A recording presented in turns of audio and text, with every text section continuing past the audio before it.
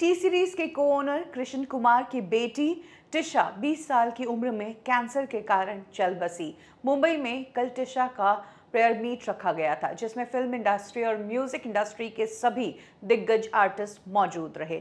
इसी prayer meet से एक वीडियो वायरल हो रहा है। ये वीडियो सोनू निगम का है, क्योंकि प्रेयर मीट में सोनू निगम बेहद दुखी और इमोशनल होते नज़र आए। सोनू निगम की इस वीडियो में देखा जा सकता है कि वो टिशा के पिता कृष्ण कुमार के पास जाते हैं और उनकी गोदी में सिर रखकर फूट फूट कर रोने लगते हैं। सोनू निगम की यही वीडियो वायरल हो रही है और लोग इस प्रेयर मीट में सोनू निगम का इतना ज़्यादा दुखी होने को जज करते नज़र आ रहे हैं। लोगों का कहना है कि शान पीछे ही खड़े हैं। वो भी उतने ही बड़े कलाकार हैं और टी सीरीज़ से उनके भी इतने ही अच्छे रिश्ते हैं।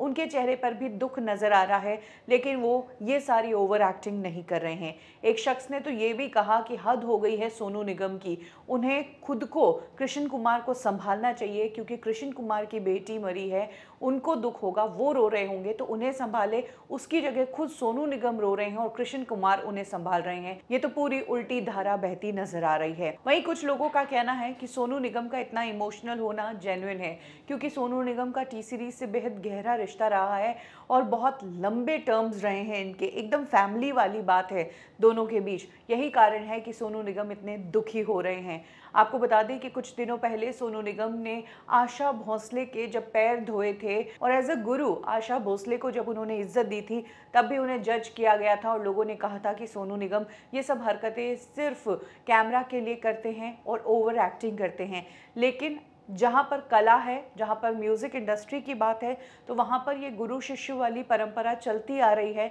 बस हाँ इन दिनों देखने को कम मिलती है। यही कारण है कि सोनू निगम ने ये किया तो वो हाईलाइट हो गया और कुछ लोगों ने इसे ओवर एक्टिंग भी कह दी। लेकिन सोनू निगम के फैंस का मानना है कि वो जेन्यनली ये सब कर रहे हैं।